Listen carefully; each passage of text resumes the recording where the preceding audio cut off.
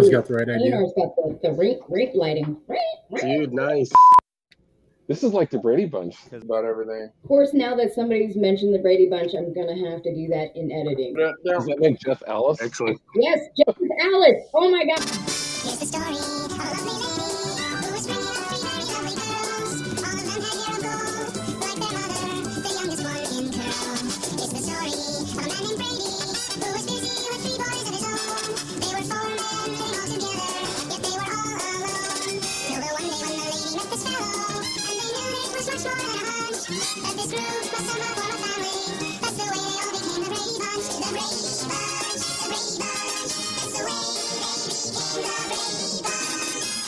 You're not hearing it? i'm just bland. Can you guys That's hear me now? fucking shit balls. Ah!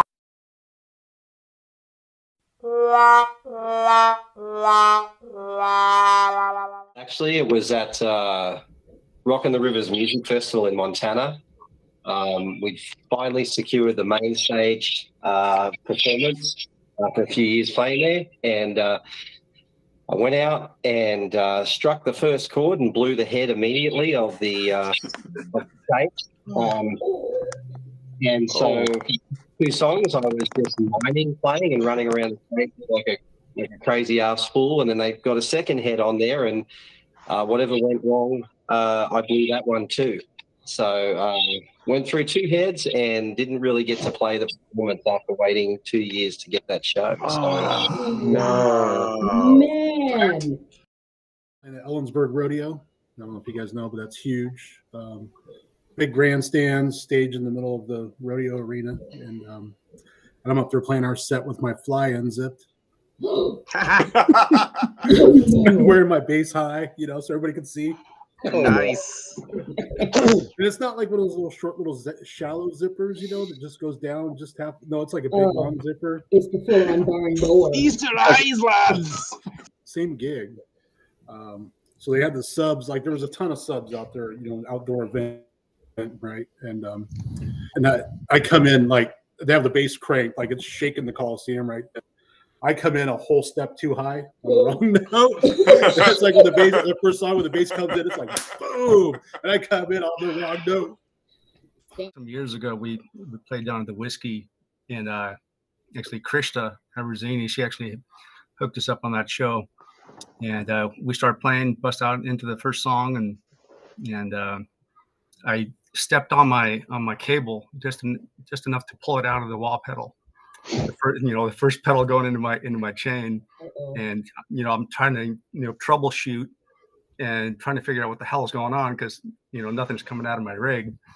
And uh i managed to figure it out you know about halfway through the song plugged it back in and it was gonna you know first song you know full full house uh yeah it was it was Damn. pretty embarrassing uh my fly was up though Oh, well, I've got a couple of them. Um, uh, most of them like in, involve you know like running across the stage and falling down, like on like a hundred foot cable that like Bob Kapka found because my guitar wireless was going out. So he plugs it into my amp and I go running off and Michael Killian walks out from the drum riser, steps on the cable by accident.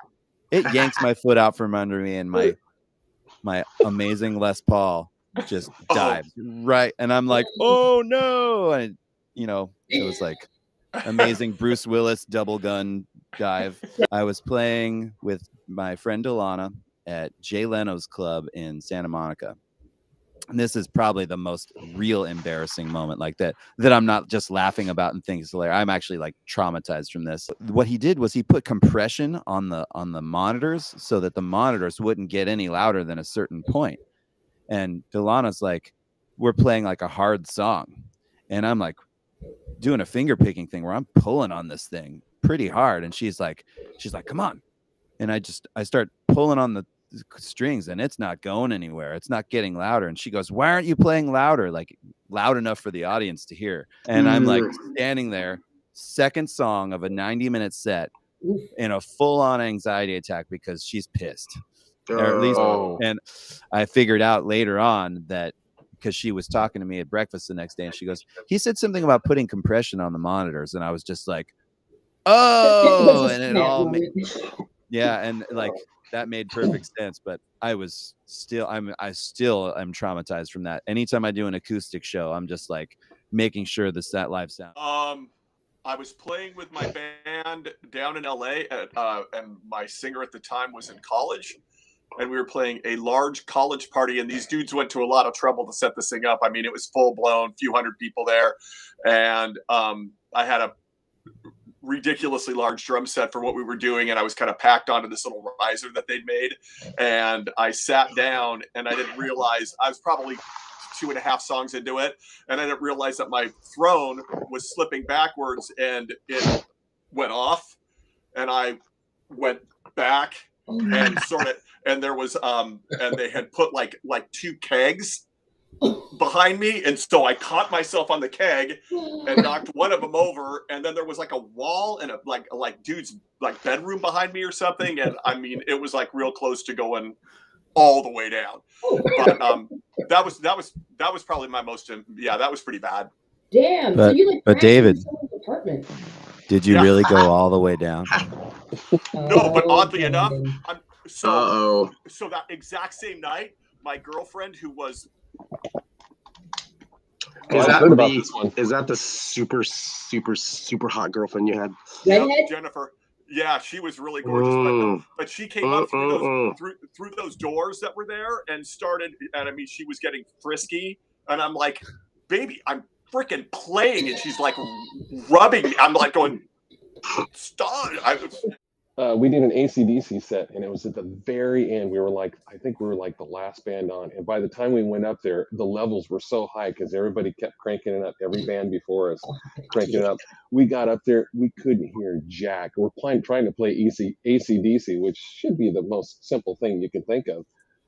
We got so lost. we couldn't hear anything. Keith Parkhurst was on drums, and he looked up at me, and I'm like, I don't know.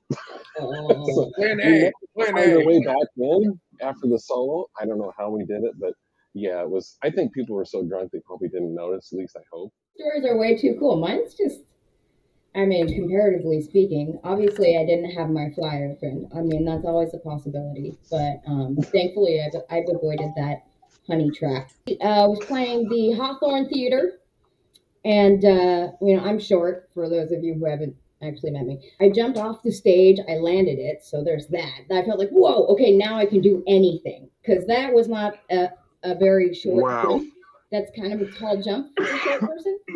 And I'm like, in my head, I'm like, you fucking landed that, you fucking badass bitch. And right as I'm thinking that, and I'm singing, I'm missing beat, I realized that I've gone too far, and my XLR cable has literally unplugged from my vocal processor. But it was a prog metal band, so I knew I had like a good six minutes in the solo. I turn around and I'm like, oh, serious mis- miscalculation? Because the stage was the same height as me, and I'm like, I'm not pulling myself up that. Oh, fuck! Throw the XLR cable up on stage, and I have to literally run around the side of the fucking stage, you know, climb back up, not trip over everyone else's shit, plug myself in, literally just in time for the next phrase. Panic in my head when I looked back after thinking I'm a fucking badass. I turn around, and I'm like, oh, So let me paint a picture for you. My friend had just loaned. He just gotten. I think it was oh, a. Oh, I think it was. I think it was a Kramer. It was one of those three pickups with gold Floyd Rose on it, the gold, uh, the gold pickups, the gold frets, everything, all the hardware gold. The thing was like twenty five hundred bucks back in the day for you know us back in the hood. That's expensive. That's not it, but that's almost almost exactly it. He says, "I want you to play this at your your gig. We're playing this play, place called the Jackson Armory." And so the guys that put the show together, they had uh, they made a three level stage, and it looks so cool. But they made it out of tables. Okay, what? Oh, three levels. See where I'm going with this? Three levels. The high level, the mid level was a little shorter, and the bottom level, right? Only two tables, right? Pushed together. Right. So we got everything set up. The PA's on there and everything's on there. And it's probably a third or fourth song. And I'm going, and I'm just, I'm shredding. It's my solo. I'm getting ready. I went down to the first level, right? And the crowd's all around the, the little, the little stage at the bottom, right? So I go and I'm shredding and I step on the, that little stage and the earth opens up. Boom. Right on my face. Oh, Right on my face. Smash on the tables. The tables almost go all the way to the ground. All you can hear is right there. I see the look on his face as I'm going down. He was like, and that's all I remember. Right. And these people are literally, you know, I'm going to say between 24 and 30 inches away from me, all the way around. And I got up and I was like, immediately, just shred away the pain, shred away the pain.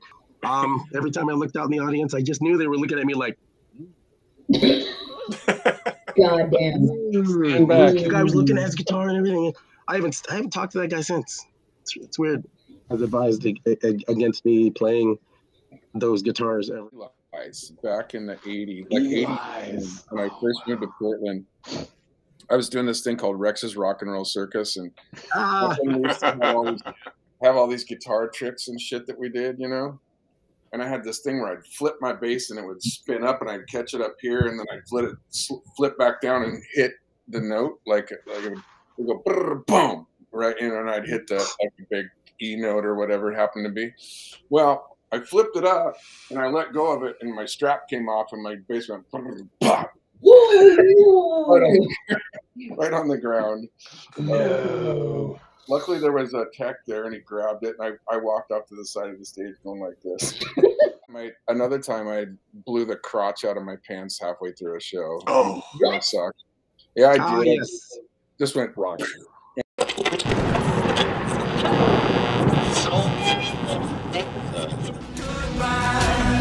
feel the way